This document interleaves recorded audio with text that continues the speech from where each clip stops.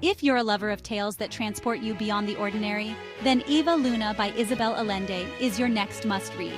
Meet Eva Luna, a storyteller with the extraordinary gift of bringing characters to life through her enchanting tales. Born in a South American country teeming with vibrant culture and harsh realities, Eva's journey is nothing short of magical. As she navigates through love, conflict, and survival, each character she crafts is a mirror to her own ever evolving story. Diving into the heart of the novel, the characters are the real jewels. From the scheming lover to the kind hearted Indian, their development is stitched seamlessly into the rich tapestry of the plot, leaving us spellbound. My personal takeaway Allende's narrative is a celebration of resilience and imagination, making you laugh, cry, and reflect all at once.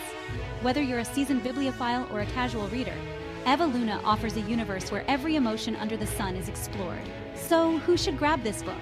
Anyone craving a story that's as heartfelt as it is thrilling. Don't forget to hit like, comment your thoughts, and subscribe for more riveting book reviews just like this one.